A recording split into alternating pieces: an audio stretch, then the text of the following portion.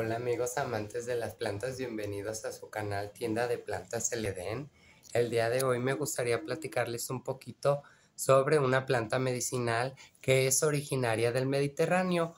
Su nombre es Rosmarinus officinalis o mejor conocido como romero.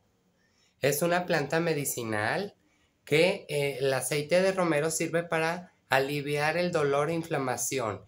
En el champú, caída del cabello Infusión de sus hojas alivia tos y espasmos digestivos, ah, previene gases y cólicos y también es antiséptica. Si aplicamos en heridas, ayuda a cicatrizar.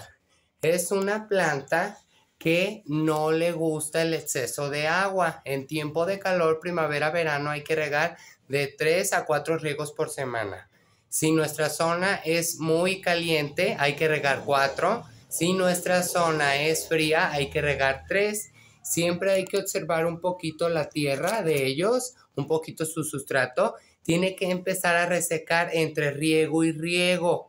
Nunca regar en exceso porque las raíces del romero son muy sensibles a la humedad y puede llegar a podrirse. Igual el romero cuando le falta agua empieza a inclinar un poquito sus hojas hacia abajo. Es una señal de regarlo.